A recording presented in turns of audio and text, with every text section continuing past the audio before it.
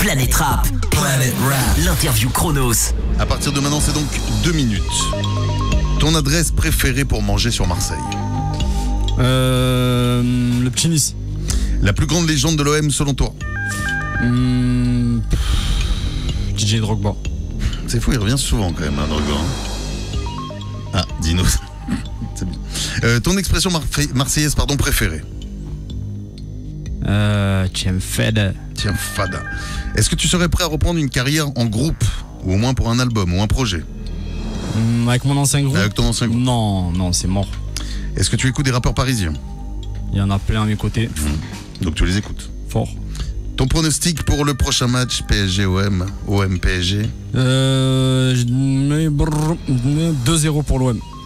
Si tu pouvais te réincarner en un animal, quel animal serais-tu? Une panthère. Ton plus grand rêve Même si je veux pas être incarné en animal.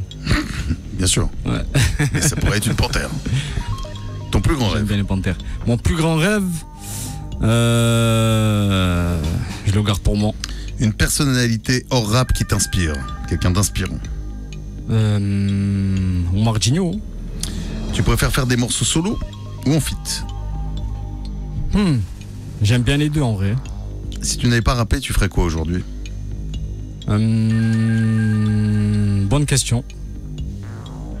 J'ai pas la Et réponse. t'as pas la réponse. Non. Ta salle de concert ou alors le peut-être même euh, le stade que tu aimerais remplir, que tu rêverais de remplir Euh, le Dôme hein, de Marseille. Dans 10 ans, est-ce que tu te vois encore rapper Non. Tu feras quoi Avec ma famille. Être Avec proche de ma famille. C'est le plus important. c'est ça. Magnifique, il n'y a même pas eu le. Il y a même pas eu le gong, il n'y a même pas eu le gong et tu as fini largement. Tiens, il arrive maintenant. Tu étais largement en avance, Nickel. bravo Esteban.